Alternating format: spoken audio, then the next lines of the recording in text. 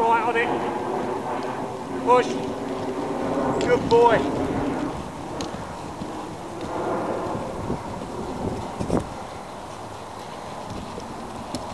Stay, stay, stay.